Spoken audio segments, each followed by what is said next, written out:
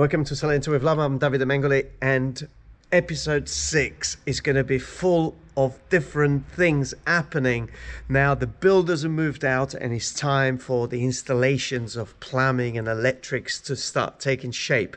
And you know, when you're doing a refurb, some of those elements are the backbone, are all of those things that you don't see, but the right planning at the right time makes a huge difference when it comes to the comfort and also the usage of your property. So let's see what episode six entails.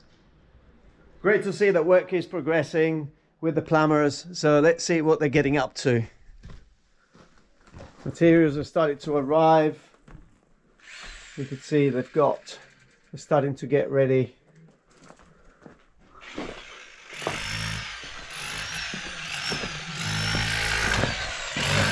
They're going into the bathroom.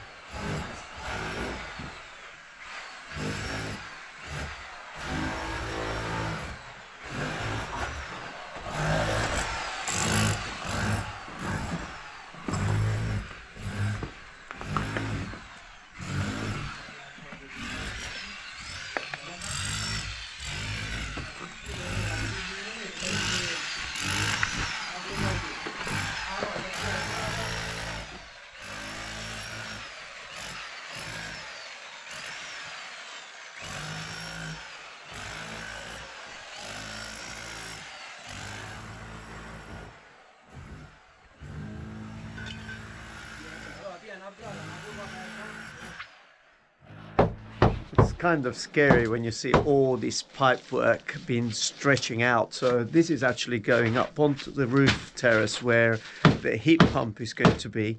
And you have the return lines for the uh, cooling system and the return lines for the underfloor heating. So everything going through one place and everything is going to be underground before then the concrete floor that is going to self level the whole house is going to be put down. So very important to get all this groundwork done and finished before then you move on to the next phase, which is the concrete floor, the insulation, the underfloor heating, and then the flooring above.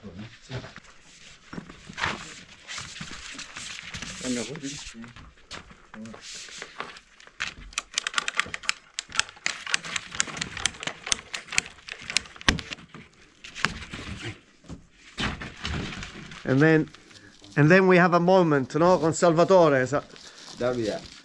Salvatore, Davide ma- Paolo. e Paolo con i cornetti eh, on a building site.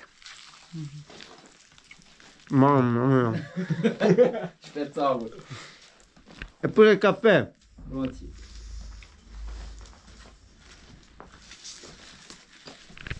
See, Italians um, take breakfast on site as a very serious matter. So, very important to feed your workers. Um, in this particular case, actually, they're feeding me because they've gone out and bought the cornetti filled with beautiful patisserie cream and the coffee. Serve la pausa, no? Sì? Come no? Da che ora che siete qui? Sei e mezza. They've been here since uh, 6.30 in the morning. It's uh, about 10 o'clock now, so yes, it is due uh, a nice break. So we're on the roof again. Well, we've been here a few times. And remember, we're on episode 6. Don't forget to click subscribe and the little bell. So first of all, we're up here, and just behind me, this is where the heat pump is going to be positioned fantastic place because it's a little bit of a lower part of the roof so it doesn't really takes any space away from the rest of the roof terrace which is going to be a beautiful roof terrace as you probably have seen in the renders. But so heat pump over there and what we do have there is all the returns. But also we've got a waste pipe down there and the hot water cold water because what a better place to have a shower here on the roof terrace you know if you're here sunbathing but also the plumbing taking care of the kitchen. It's there so we've got hot water cold water and a waste pipe. So let's go downstairs now and have a look at what's down there. So it's great because aircon unit is going up there and it's interesting because the waste or the water that the aircon unit is going to produce will go straight into the waste pipe. And so it won't produce any water in that area which is always the best way to do it. Uh, we can see a little bit of a spaghetti junctions going in different direction here. That's the other aircon unit there. But very impressive, really, when you look at the amount of work that needs to be done just to prepare for the manifold that it's going to handle the heating system and the cooling system. So a big manifold is going to go into there behind the wall in a in a case and that's going to manage everything. And then you can see pipe going up servicing another aircon unit on this side, an aircon unit on the other side. And then we're getting into this wonderful bathroom area, which is going to be so large with a double sink there already and a beautiful double shower. Yes, shower on one side, shower on the other. We've got all the plumbing done for the Kazi toilet just there. And what a great way of making everything disappear. Yes, everything is going to disappear there because something special is going to happen to this roof here.